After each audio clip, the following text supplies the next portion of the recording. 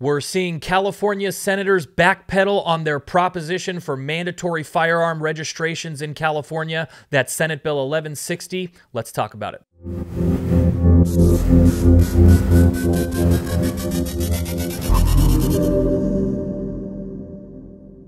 Hey everybody, welcome back to the channel today. That is right, we have seen some promising news coming out of the Capitol in regards to Senate Bill 1160. That is the bill proposing an all-out firearms registration in California. To talk us through it today, we have brought back Rick Travis, who is the Director of Legislation for CRPA. He is also the host of Firing Line Radio. You can catch him on Saturdays at 1 p.m. on AM 590 The Answer. Rick, thanks for being with with us. My pleasure. Absolutely. But before we get into that today, guys, if you want to directly contribute to lawsuits against anti Second Amendment laws in California and to the legislative advocacy that's going on up in Sacramento advocating against uh, anti 2A laws, please be sure to like, share, and subscribe to these videos. That education towards others will arm them on their way to the ballot box in November during the general elections this year, and it does help out this cause when more people see these videos. So please go ahead and help us there. Hit that little notification bell so that you get notified as these videos come out so that you are educated as soon as they come out. Uh, so, Rick, I, I guess let's just start you know, we've done a couple videos on Senate Bill 1160 already. Uh, wrap this up in a bow neatly for me, though. What exactly is Senate Bill 1160? Why are we pushing so hard on this one? What would it mean for California? This is the annual registration of firearms bill. And what this bill will require is that every gun and every gun owner, there are no exemptions um, outside of an antique firearm. So if you own anything that wasn't purchased as an antique, you're going to have to register it. If you didn't purchase it and it was handed down, going to have to register it. If you're in law enforcement and it's not a firearm owned by your department, yep, you're going to have to register that too. Uh, anything that was transferred through family members, be it handed down through a estate, divorce, etc., like a gift from your parent, brother, sister, anything like that has to be registered. And when you register it, there will be an initial one-time fee that will be assessed on every firearm. That has ranged, but it seems to be around 250 bucks. And then half of that would be what was required every year as an annual tax. They call it a fee, but let's call it real, really as a tax. So potentially, uh, many people could find themselves within three, four years of having paid more in taxes than the firearm originally cost. And in the case of where something was handed down, you want it at a event or something else, which are all legal means for obtaining a firearm, you would actually be paying for that firearm now that you you didn't pay for, somebody else paid for previously. Yeah, so I guess prospectively, you know, we're looking at legislation this year where they're trying to get a licensing scheme going on, uh, uh, mandatory locked storage boxes, and create a roster for that. This would kind of be the icing on that cake where they're going to be able to extract money from you every single year uh, in the form of this registration, all, I guess, as they normally say, hoping to reduce crime, not really seeing how uh, that's going to happen. So, uh, what exactly is the, the victory that we had in the Capitol uh, last week with this? You know, we're, we're, we're calling this a win. Obviously, uh, the, the, you know, the bill's not completely gone away yet, but what happened in the Capitol last week uh, worth mentioning? Kevin, that's a really good question, but I want to I want to touch base on part of what also is at stake is this is mandatory firearms registration that leads to mandatory confiscation. This sets up a, a billion dollar agency within the Department of Justice that would literally be required to track more firearms than DMV tracks vehicles in this state. And look at all the issues we have with DMV annually with tracking vehicles. Now imagine a DOJ that's already overworked, understaffed, underpaid, now creating this to this is an impossible feat that is fraught with disasters, both for the agency, but also for us, because it sets us up into what we see in so many parts of history, which has turned out very, very poorly for the people, and which millions of people have died over the last couple of centuries when this kind of a, a scheme has been set into place. It has never proven to be positive, it's always been negative.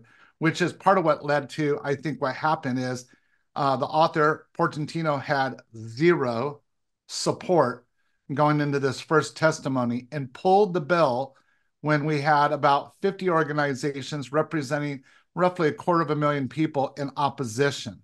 And so he pulled the bill. Now, a lot of people started to run around the internet and go, We've won, it's done. Nope. It means exactly that. We won round one, but this fight is not over. This bill is probably going to have some amendments made by the author trying to gain support, trying to build up that opposition um, against us, but in support of this bill. And so we look to see it. He's got till the middle of May to get it through this House and get it moved over to the, towards the Senate. And so this fight is probably going to take place late April, early May, and it's going to be um, major. So we need people to continue to work on uh, Senate Bill 1160 by using our one click pro, uh, politics program that you put out there so effectively, Kevin. And I thank you. And I'm so grateful for that. And getting more and more people built into this coalition because this is the fight of fights for our rights. Well, I'm I'm kind of curious on that. Uh, you know, what what does the well? I guess first of all, so very clearly put, um, we seem to have emerged victorious in round one. This is a Senate committee uh, hearing where they were supposed to hear Senate Bill 1160. Anthony Portantino, the, the author of the bill, pulled it for consideration because you're saying he had absolutely zero support. Guys, that means that Moms Demand Action wasn't there supporting it. That means Giffords wasn't there supporting it. Uh, there are plenty of nationwide organizations that blindly throw their support on bills like these and have done so many, many times in the past. They haven't even done that on this bill. And I, I know that registration has been a thing throughout this, the, the nation for a long time that's been pretty solidly rejected uh, by the people of America on so many different levels.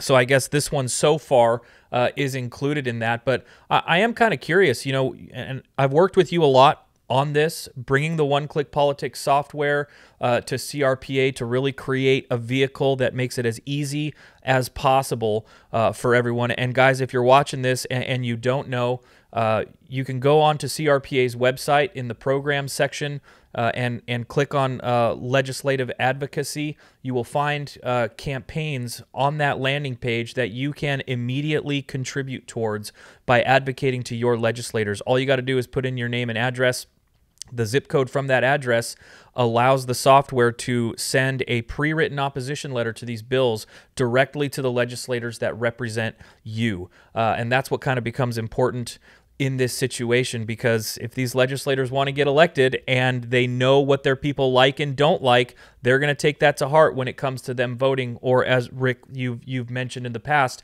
maybe force them to not vote. But specifically in this instance, you know, I'm kind of looking at the back end statistics uh, with that software between Senate Bill 1160, uh, Senate Bill 1253 and Assembly Bill 262, you know, we're looking at almost 10,000 emails sent by Californians to their legislators.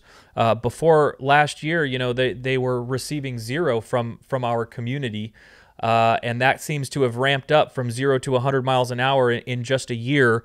Uh, what effects are you personally, as the lobbyist, seeing uh, in the Capitol as a result of that one click politics?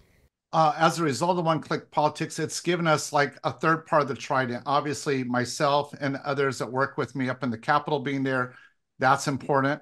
But that's one piece. Having this one click politics, um, allowing us to get the masses together and working with this, this becomes another leg of pressure on those offices that make them question what they're doing, or at least slow down to have conversations, which allows myself to, to be able to go in there and have those conversations pushing back.